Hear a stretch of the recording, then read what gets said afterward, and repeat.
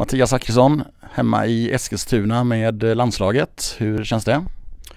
Såklart jätteroligt att få spela landskamp på hemmaplan blir det. Jag är väl inte från Eskilstuna men eh, Eskilstuna är hemma för mig och att eh, vara på hemmaplan och representera Sverige det kommer bli skitkul.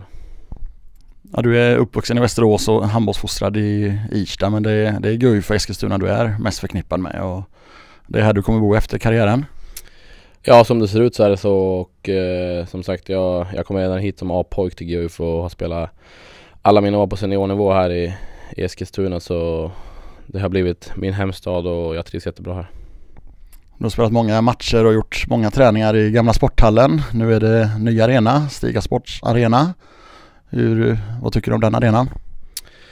Ja, jag har själv inte spelat där. Jag har varit och kollat när Guif har spelat eh, någon match i elitserien men eh, jag tycker den är fantastiskt fin och skulle säga att det är en, eh, en topparena i Sverige, en bland de finaste som finns just nu och den är lagom stor också med 4000 åskådare tror jag rymmer så det, äh, det kommer bli häftigt att spela landskamp där på torsdag.